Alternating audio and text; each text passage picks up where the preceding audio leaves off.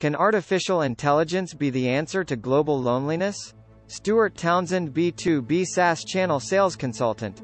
Loneliness is far more than a fleeting emotion, it's a global issue affecting millions. Machine learning algorithms use computational methods to learn information directly from data without relying on a predetermined equation. It's no longer just an emotional state, its impact is so profound it's drawing attention from health professionals globally. They are not only programmed for responsive communication but also hold the ability to discern slight variance in a user's tone, language, or behavior, intuitively providing appropriate responses to enhance their emotional well-being.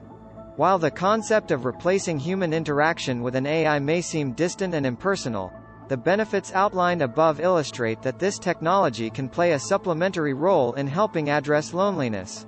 AI is still unable to fully understand and emulate human emotions.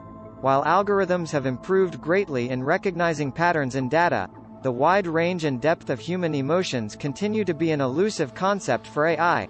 Important issues include informed consent, data privacy, defining the boundaries of AI intervention, and regulation.